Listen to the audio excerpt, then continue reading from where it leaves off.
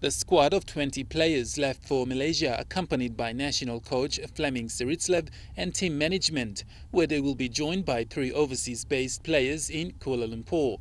National coach Serritslev said attending these matches will be an important one for the team.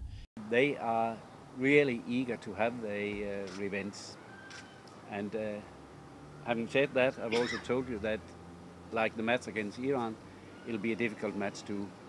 But it's actually what I want uh, with this uh, national team. I want us to face uh, opponents that are really strong. He said playing against some of the top teams in Malaysia will be a great challenge for the team to see where they stand at in terms of their performance.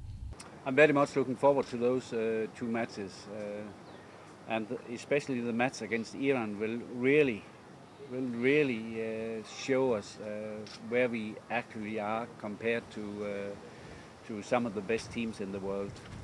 Captain David Muta says he is confident and looking forward to the competition. This um, um, friendly match, I think it will really uh, help us a lot and it will help the coach and help the players to um, gain some experience and maybe to push the players to work more harder and I think the coach will see um, what we have to do to improve our games for the um, first game on March. Yeah. The competition will kick off on Thursday the 10th, where Kapuls will take on Iran in their first match in Kuala Lumpur and take on Malaysia on Monday the 14th.